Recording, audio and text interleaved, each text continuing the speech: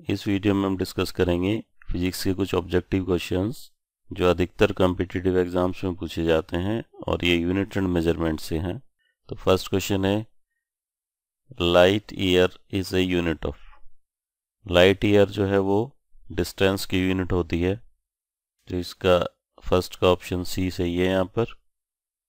Second the magnitude of any physical quantity तो physical quantity का जो मैग्नीट्यूड है वो does not depend on the method of measurement क्योंकि मैग्नीट्यूड जो होता है वो एब्सोल्यूट होता है। तो इसलिए वो मेथड ऑफ़ मेज़रमेंट पे डिपेंड नहीं करता है। आते हैं थर्ड क्वेश्चन पे। Which of the following is not equal to watt इनमें से कौन सा जो है वो वाट के इक्वल नहीं है। तो इसमें से डी जो है वो इसका सही ऑप्शन है। ये वाट के इक्वल नहीं होता है, क्योंकि वाट जो है वो जूल पर सेकेंड या एम्पियर इंटू वोल्ट या एम्पियर इंटू ओम क्यों? पावर जो होती है वो वी इंटू आई होती है या आई स्क्वायर इंटू आर भी कह सकते हैं उसको। और पावर जो है वो वर्क डन अपॉन टाइम भी होता है। तो वर्क डन को मेज़र करते हैं जूल में। और सेकेंड टाइम के लिए हो गया। तो जूल पर सेकेंड ये भी। तो इसमें से कौन सा जो है वाट के इक्वल नहीं है। तो ये ऑप्शन हमारा सही है, ये वाट के इक्वल नहीं होता है। D option is right. अभी next question. Newton second is the unit of. Newton second किसकी यूनिट होती है? न्यूटन तो हो गया फोर्स, सेकेंड टाइम। तो एफ़ इंटू टी ये इम्पल्स की यूनिट होती है। और इम्पल्स जो होता है वो चेंज इन मोमेंटम। के इक्वल होता है तो चेंज इन मोमेंटम को ही इम्पल्स कहते हैं। तो इसलिए ये जो यूनिट है, वो मोमेंटम की यूनिट है। तो इसमें सी इसका राइट आंसर होगा। अब next question which of the following is not represented in correct unit इनमें से कौन सा करेक्ट यूनिट में रिप्रेजेंट नहीं किया गया है? पता करना है कि कौन सी की यूनिट सही नहीं है इनमें से। फ़र्स्ट को देखते हैं कि स्ट्रेस अपॉन स्ट्रेन है। स्ट्रेस जो होता है force upon area strain change in length या change in configuration upon original configuration तो ये तो इसकी तो कोई यूनिट होती नहीं है। तो स्ट्रेस फोर्स अपॉन एरिया तो फोर्स न्यूटन और एरिया मीटर स्क्वायर तो ये भी करेक्ट यूनिट है। सरफेस टेंशन सरफेस टेंशन क्या होती है? फोर्स पर यूनिट लेंथ तो इसमें भी फोर्स के लिए न्यूटन और लेंथ के लिए मीटर आ जाएगा। ये भी करेक्ट यूनिट है। एनर्जी तो एनर्जी के लिए एनर्जी के लिए हम ले लेते हैं। काइनेटिक एनर्जी को ले लें, वो भी तो one by two M V square है। मास को हम किलोग्राम में लेते हैं। वेलोसिटी मीटर पर सेकंड और उसका स्क्वायर करेंगे अगर तो kilogram metre square per second square तो ये एनर्जी की करेक्ट यूनिट होनी चाहिए तो इसमें ये हमारा सही आंसर होगा, क्योंकि एनर्जी की ये यूनिट नहीं होती है। तो यही पूछा है इन्होंने कि कौन सा करेक्ट यूनिट को रिप्रेजेंट नहीं करता है। प्रेशर को भी अगर देखें तो pressure is equal to force upon area तो फोर्स होता है न्यूटन, और एरिया को हम मीटर स्क्वायर में मेज़र करते हैं। तो बाकी तो सब यूनिट ठीक है, और सी में जो दे रखा है एनर्जी ये यूनिट सही नहीं है। अब next question one nanometre is equal to तो one nanometre one metre is equal to ten to the power nine nanometre तो one nanometre is equal to one upon ten to the power nine metre या ten to the power minus nine metre या इसको centimetre में change कर सकते हैं। Ten to the power minus seven centimetre तो one nanometre is equal to ten to the power minus seven centimetre तो ये इसमें करेक्ट ऑप्शन है। उसके बाद आते हैं नेक्स्ट पे। One micron is related to centimetre one micron में कितने सेंटीमीटर होते हैं? One metre is equal to ten to the power six micrometre या माइक्रोन्स तो one microns is equal to ten to the power minus six metre या ten to the power minus four centimetre. तो one micron, अब ये सभी centimetre में दिए हैं। One micron is equal to ten to the power minus four centimetre ये इसका राइट right आंसर है। Next question unit of power is power की क्या यूनिट है?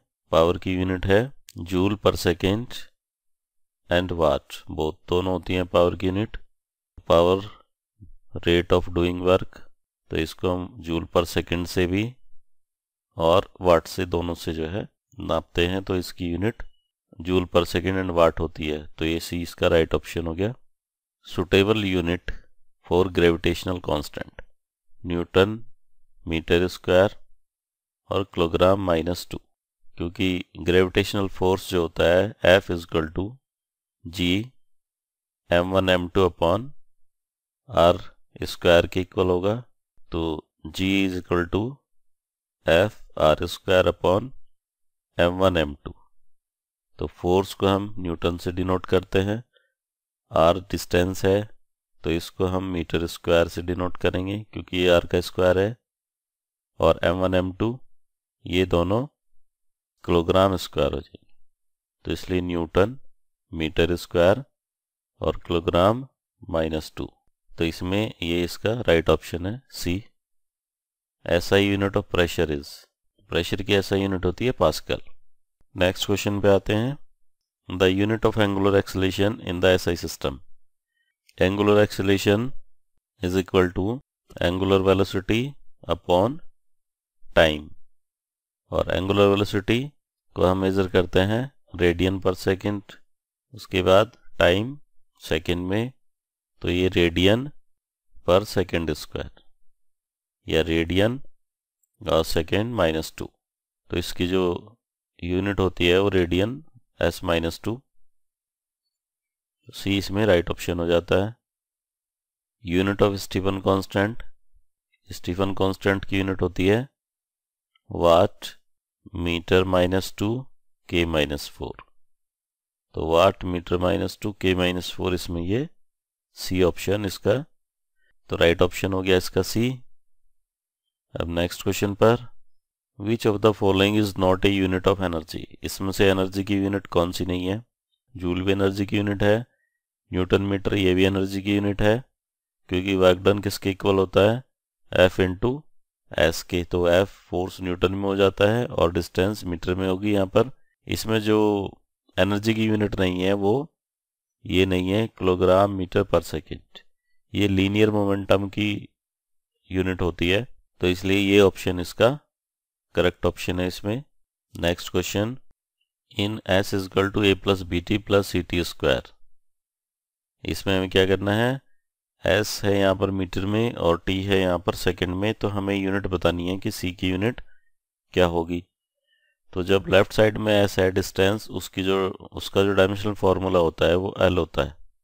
तो इसका मतलब एल जो डायमेंशनल फार्मूला है वो सी टी स्क्वायर का भी होगा।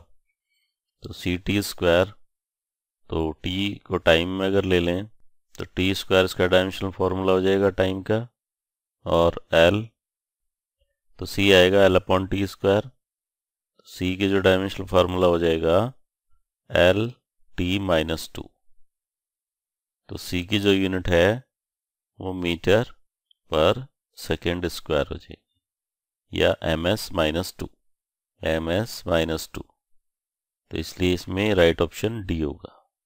Next unit of energy in SI system SI system में एनर्जी की यूनिट जो है वो जूल होती है। तो इसका राइट ऑप्शन सी है। अब next question cube has numerically equal volume and surface area the volume of such a cube is cube का जो वॉल्यूम है और सरफेस एरिया वो दोनों इक्वल है न्यूमेरिकली तो volume of cube A cube और surface area six A square हो जाएगा। अगर उसकी साइड ए है तो। तो A is equal to six तो volume is equal to A cube six cube is equal to two one six unit तो इसलिए जो उसका वॉल्यूम होगा वो 216 यूनिट्स होगा। ए इसका सही ऑप्शन है। नेक्स्ट क्वेश्चन पे wavelength of ray of light is 0.4 times 06 meter is, is equal to तो इसको चेंज कर लेंगे। Zero zero four times zero आनी है सिक्स मीटर अब इसको हम टेन की पावर में ले आएँगे। तो राइट साइड में हम डेसिमल लेके जाएँगे। तो एक दो तीन चार पाँच। तो पाँच डिजिट के बाद हम इसको लेके जा रहे हैं तो six into ten to the power minus five अगर राइट को हम लेके जाते हैं डेसिमल को तो पावर माइनस में मल्टीप्लाई होती है, is equal to sixty into ten to the power minus six तो सिक्सटी माइक्रोन्स। तो इसमें बी इसका सही ऑप्शन होगा। तो wavelength of ray of light is इतने माइक्रोन्स तो मीटर को माइक्रोन्स में चेंज करना है बस। Electron volt is a unit of electron volt energy की यूनिट होती है। यूनिट ऑफ़ पावर इज़ तो यूनिट ऑफ़ पावर जो होती है वो किलोवाट है। डेंसिटी ऑफ़ वुड इसमें डेंसिटी दे रखी है वुड की 0.5 सीजीएस सिस्टम में, और हमें इसको एम सिस्टम में चेंज करना है। तो 0.5 ग्राम पर क्यूबिक सेंटीमीटर 0.5 को हम चेंज कर लेंगे किलोग्राम में। तो इसके लिए हम 10 to the power minus three से मल्टीप्लाई करेंगे इसको किलोग्राम में चेंज करने के लिए, और सेंटीमीटर क्यूब को हम चेंज करेंगे। मीटर क्यूब में तो 10 to the power minus two का क्यूब। तो ये आ जाएगा 0.5 10 to the power minus three upon ten to the power minus six, zero point five into ten to the power minus three plus six, zero point five into ten to the power three is equal to five hundred kilogram per metre cube. तो इसमें five hundred kilogram metre cube आ जाएगा। तो M कैस unit इसका ए जो है वो right option बनेगा इसमें which is the correct unit of measuring nuclear radii nucleus को फर्मी में मेजर करते हैं। तो ये तो कुछ important questions units and measurement से।